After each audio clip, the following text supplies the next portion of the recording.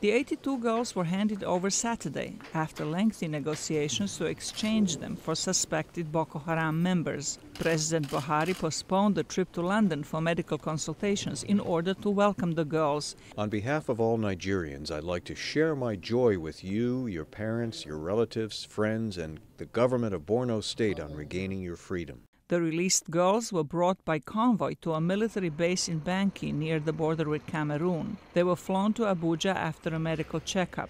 A representative of the president met them at the airport. Welcome, our girls. Welcome, our sisters. We're happy to have you back. We're very glad that you are back.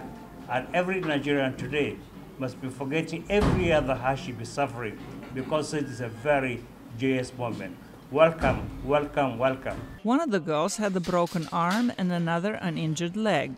They all looked tired. The girls that have returned, the life in captivity has been one that um, depicts um, suffering. It depicts the fact that they've been stabbed, they've been um, abused. As we've seen before, some of those girls have come back with children.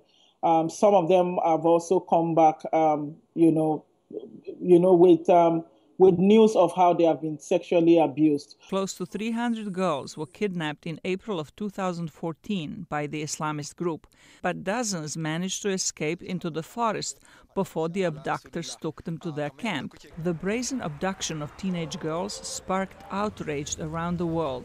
Parents and activists formed groups to press Nigeria's government for more action to free them from captivity. About 20 were released last October. Each and every one of our 113 girls now in captivity have to be accounted for, and that's so the, the struggle continues. But for today, we are so happy that we have gotten 82. So in total, we have 106 that have been rescued, and we continue making demands for them until each and every one of them is brought back home.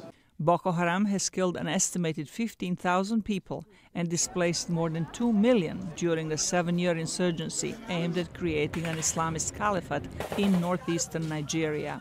Zlatica Hoke, VOA News, Washington.